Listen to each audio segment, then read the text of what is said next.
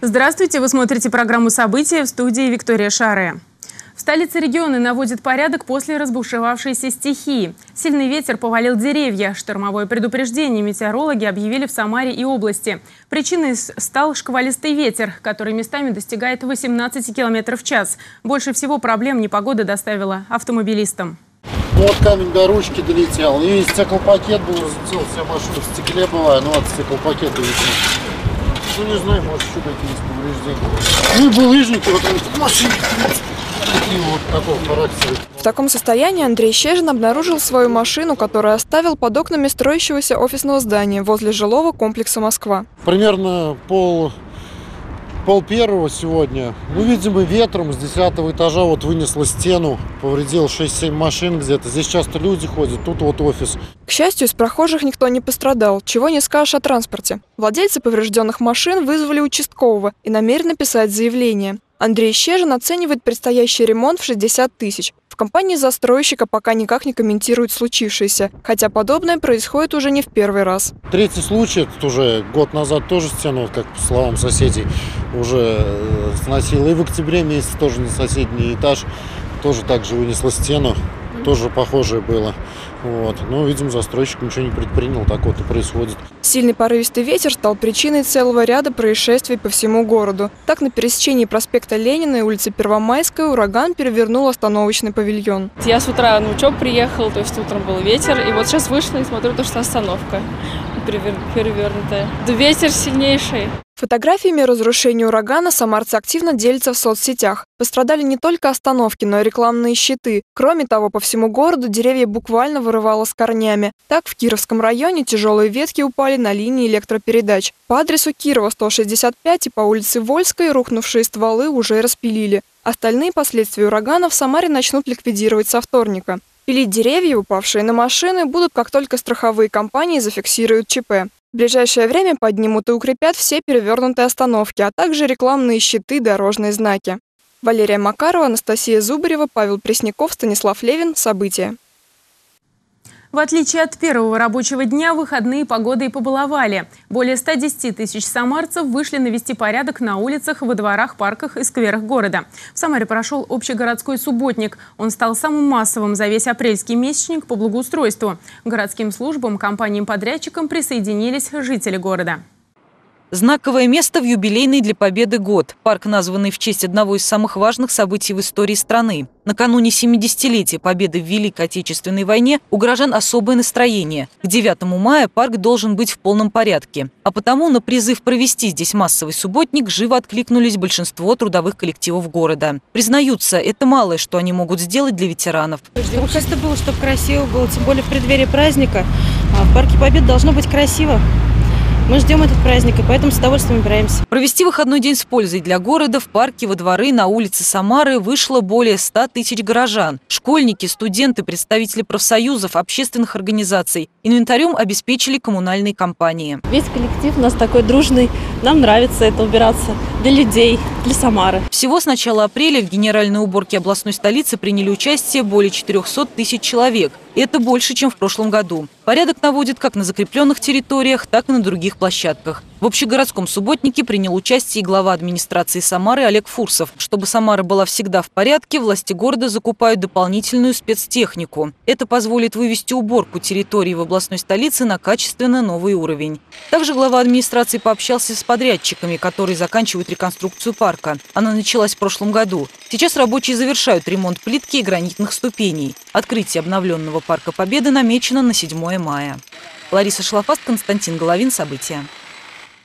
Самая настоящая, хоть и липовая аллея появилась в Струковском саду. Об этом позаботились депутаты Самарской городской думы. Высадили деревья, от которых уже следующей весной будет исходить манящий аромат.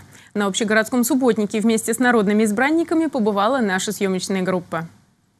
Самое главное, чтобы метла в женских руках не становилась средством передвижения. Зеленые жилетки депутатов – символ единения с природой. Струковский сад – подшефная территория. Городская дума не только следит за чистотой и порядком в парке, но и за благоустройство отвечает.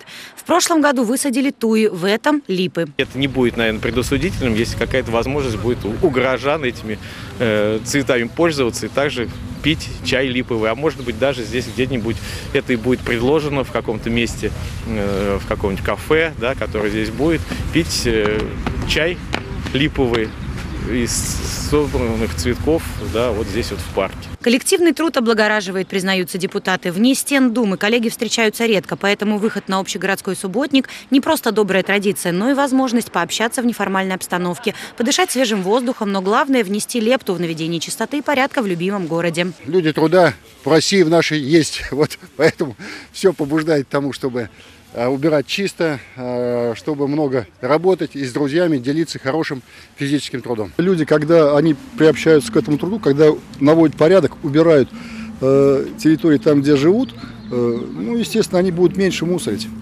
Это повышает э, определенную такую социальную ответственность. Несколько часов депутаты, молодежный парламент, да и в целом весь аппарат Самарской городской думы трудился в Струковском саду. Собрали десятки мешков мусора. Теперь главное, чтобы сами горожане поддерживали здесь наведенный порядок. Марианна Мирная, Артем Сулайманов. События.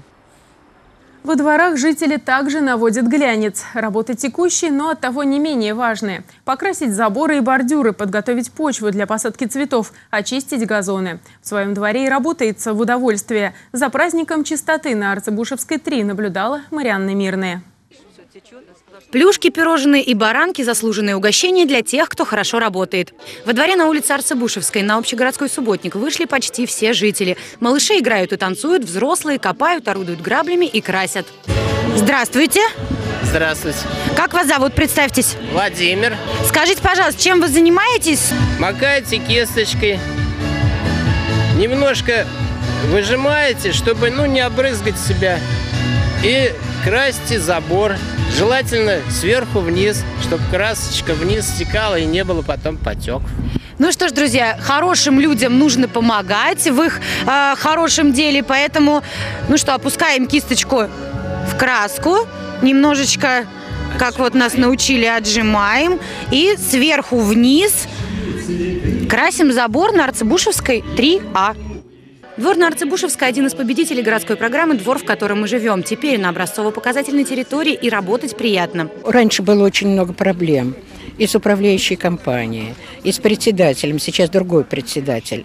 Сейчас заявок э, никаких почти не попадает ко мне люди не обращаются с этими просьбами, и только наоборот благодарят, что э, очень много проблем было решено и сделано. И вы видите, сегодня очень много людей вышло на субботник, хотя они в месячник принимали очень активное участие.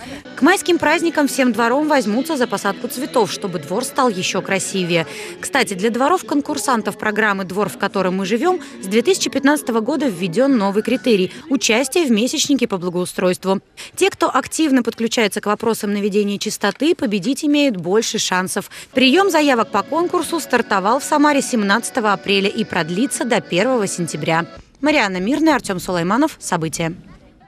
Дворы Самары засияли чистотой. Более тысячи сотрудников управляющей компании и жилищно-коммунальной системы вышли на большой общегородской субботник. Теперь, выходя из подъездов, жители видят покрашенные бордюры, красивые газоны и чистые дорожки.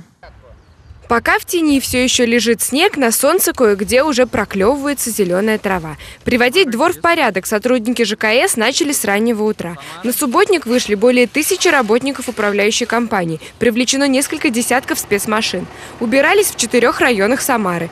Двор по улице Гагарина преображается на глазах. Детские лесенки и качели играют новыми цветами. С газонов исчезает мусор. Кроме наших сотрудников мы пригласили еще и много жителей – Вчера, вчера по тем предложениям, по тем заявкам на инструмент мы сегодня ждем более 400 человек жителей. Татьяна Самчелеева за день успела побывать на двух субботниках. Прежде чем побежала на уборку в детский сад, внесла вклад в благоустройство своего двора. А вот, посмотрите, мы установили колеса, сделаем из одного колеса солнышко, из другого колеса я планирую сделать и либо жирафа, либо зебру. Что получится?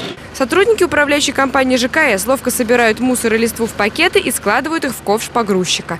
За благоустройство города взялись по полной программе.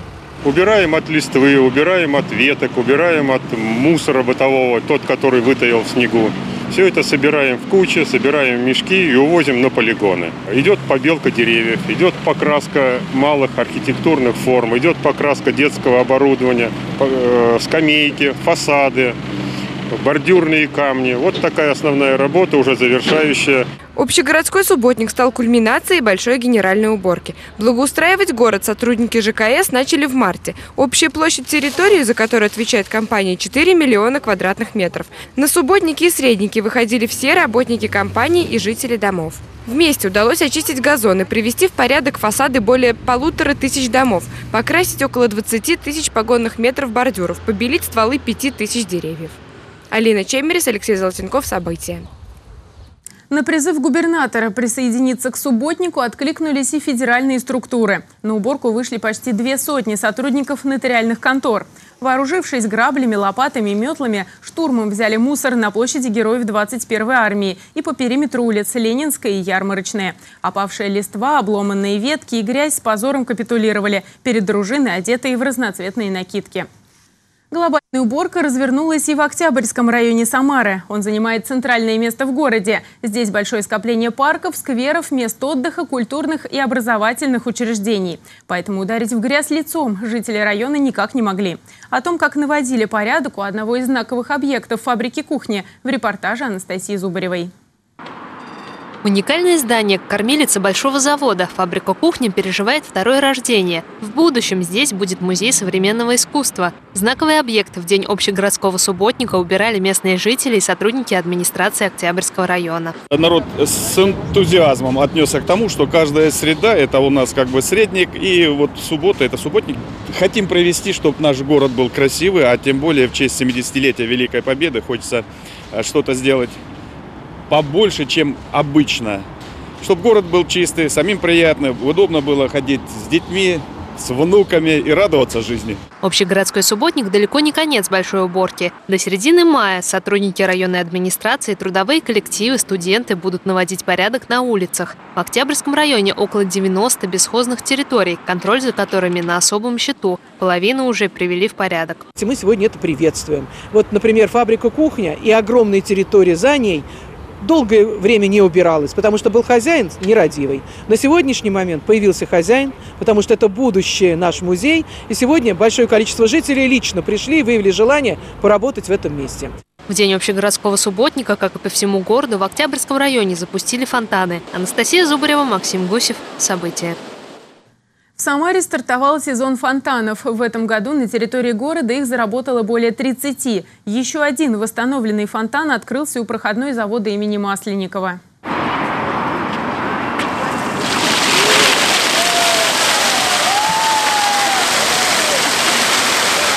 Фонтан у проходной завода имени Масленникова обрел вторую жизнь. Он не работал больше 15 лет. Воссоздавать его пришлось практически с нуля. На открытие собрались местные жители. Особый интерес обновленный фонтан вызвал у детей. Э, он очень красивый, как хорошо то, что его открыли. Можно будет после выступления, перед репетициями посидеть э, тут на лавочке и посмотреть на этот чудесный фонтан. Ну, раньше здесь было как-то не очень красиво без фонтана. А сейчас как бы можно, ну, гулять, ну, и рядом с театром, как бы это очень хорошо, что здесь именно с фонтан включили опять.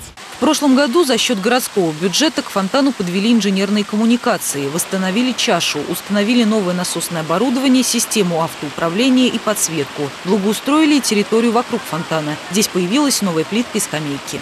Последние годы фонтаны восстанавливаются. Этот фонтан стал 34-м. И мы сегодня запускаем все фонтаны по сложившейся традиции. Я думаю, что задача сегодняшней власти сделать так, чтобы наш город был лучшим со временем во всей сегодняшней нашей стране. Сезон фонтанов в Самаре открыт. В этом году радовать своей красотой горожан будут 34 фонтана. Работать они будут вплоть до октября. Лариса Шалафаст, Константин Головин. События. Звание почетного гражданина города Самара могут присвоить архитектору Вагану Гайковичу Каркарьяну. Инициативу председателя городской думы Александра Фетисова присвоить Вагану Каркарьяну звание почетного гражданина города поддержали представители архитектурного сообщества. Заслуженный архитектор ушел из жизни в январе прошлого года. Ваган Гайкович не только многое сделал для формирования архитектурного облика Самары, но и всей душой болел за сохранение исторической части города. Его книга о Старой Самаре – уникальный источник информации о деревянном зодчестве. Многие записанных в ней образцов архитектуры уже утрачены. В середине 60-х годов Каркарьян работал над генпланом Куйбышева. Тогда и заметил, что город похож на парящую в воздухе птицу. Вклад Вагана Каркарьяна в развитие города и сохранение архитектурного наследия трудно переоценить. Для представителей власти города, для сообщества профессионального, э, в том числе и для строителей, наверное, это станет еще одним важным поводом и необходимостью обратиться э, к творчеству Каркаряна, к тем мыслям да, и подходам, э, которые он излагал. Ваган Гакович он сделал последние годы, особенно последние 10-15 лет. Это такая культурегерская э, деятельность, воспитание любви к исторической застройке памятникам архитектуры, не только к памятникам, вообще к исторической среде. Это он сказал своими трудами. Полька, полонез и вальс. На один день Самарский театр оперы и балета превратился во дворец XIX века. В Самаре прошел второй общегородской кадетский бал. На торжество прибыли гости из Нижнего Новгорода и Саранска.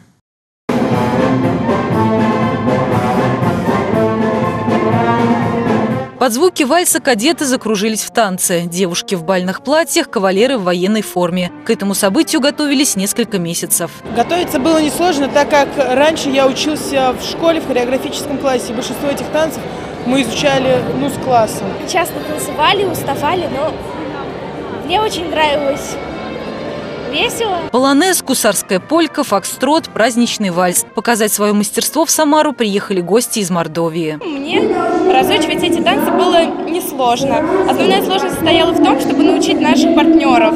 Партнеры побывали в этой шкуре первый раз, и наша основная задача была обучить их этим танцам. На Самарский кадетский бал прибыли полторы тысячи человек. Праздник приурочен к годовщине 70-летия Победы в Великой Отечественной войне. Лучших учеников кадетских корпусов за успехи наградили памятным знаком в честь военного парада в Куйбышеве. У каждого военного человека всегда в сердце должно быть стремление защитить какие-то конкретные вещи. Свою страну, свой родной край, свою семью и свою девушку. Поэтому мне очень хочется, чтобы сегодняшний наш бал был действительно ярким, чтобы вы его всегда запомнили, потому что военный человек, какой бы он поклонной силовой структуры в будущем не носил, человек должен быть развитым гармонически. И с каждым годом верю, количество гостей, количество кадетов, которые будут приезжать сюда к нам, будет расти. А это значит, что будет крепкая кадетская дружба. С юных лет кадеты учатся не только военной науке, но и милосердию. Кадетский бал не случайно назван благотворительным. Все собранные средства передали многодетной самарской семье Шохиных. В ней воспитывается пять детей. Лариса Шлафаст, Сергей Баскин. События. Впереди вас ждут новости экономики, а у меня на этом пока все. Телефон редакции 202 11 22, наш сайт samaragis.ru. Читайте нас в Твиттер, скачивайте приложение и смотрите телеканал «Самарагис» на экранах смартфонов и планшетов. Всего вам доброго и до встречи. Здравствуйте! Финансовые новости на телеканале «Самара ГИС». Согласно опросам, почти 90% россиян против повышения тарифов ОСАГО. Причем более 50% респондентов уверены, что цена полиса и так была завышена. 38% считают нынешнее повышение тарифов излишним. Платить чуть больше готов лишь каждый 17-й, и всего 4% опрошенных высказались за повышение. Тарифы на ОСАГО выросли в апреле этого года. В результате повышение стоимости полисов составило 40-60%. Странно, что мнение большинства жителей страны чиновники и депутаты не спросили. Видимо, страховое лобби важнее. В правительстве считают, что необходимо совмещать познавательный туризм с религиозным. На территории России сегодня находится 150 тысяч объектов, которые являются религиозными памятниками и имеют грандиозное историческое и событийное значение, поскольку многие из них изменили ход истории. Поэтому необходимо, чтобы программы, которые разрабатываются для каждого из храмов, были ориентированы на разные аудитории – и на людей глубоко воцерквленных, и на людей, для которых религия остается частью истории. А можно уточнить, крестовые походы – это познавательный туризм или религиозный, или все-таки вырезательный? Российский фондовый рынок открылся ростом. Индекс ММВБ в плюсе на отметке 1658 пунктов. Среди лидеров роста НЛ «Россия», «Транснефть», «Акрон», «Татнефть» и «Московская биржа». Аутсайдеры – ЛСР, РДР «Русала», «Полиметалл» и АФК-система. К открытию торгов в России сложился нейтральный внешний фон. Американские индексы завершили день снижением на фоне тревожных новостей из Китая и Греции. На азиатских площадках также преобладает негативная динамика. Нефтяные котировки торгуются с повышением под влиянием сообщений об эскалации конфликта в Йемене. Курс доллара на 20 апреля 50 рублей 52 копейки. Курс евро 54 рубля 51 копейка. Золото стоит 1956 рублей за грамм. Серебро стоит 26 рублей 58 копеек за грамм. Цена нефти марки Brent 63 доллара 72 цента за баррель. На сегодня это все. Удачи в делах.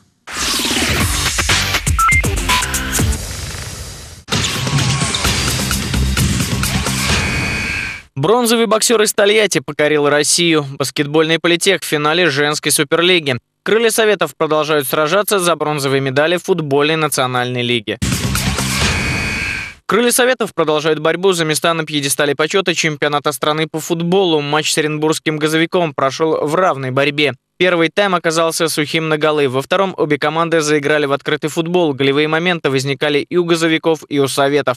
Голкипера показали болельщикам класс. Не помогли крыльям и две замены, зато добавленное время расставило все по своим местам. Сергей Корнеленко точно сыграл головой 1-0. Победа крыльев Советов. И теперь самарцы делят третье и четвертое места с ТОС на Ленинградской области. Лидер Махачкалинский Анжи. В Омске Самарский политех разделал под орех местный нефтяник «Авангард» в матче женской баскетбольной суперлиги со счетом 81-61. Эта победа позволила самарчанкам сыграть в финале чемпионата страны. На родном паркете 24 апреля в спорткомплексе «Сам ГТУ» в 6 вечера политех встретится с воронежскими скифами. Накануне они одолели лидера регулярного чемпионата «Питерскую Ладогу». Тольяттинский боксер выиграл бронзу юношеского первенства России. В Оренбурге за комплект наград на ринг вышло около 300 спортсменов из 65 регионов страны. Тольяттинец Артур Бакун с весовой категории до 75 килограммов поднялся на третью ступень пьедестала почета. В полуфинале он уступил будущему чемпиону, московскому боксеру Магомедбеку Махмудову.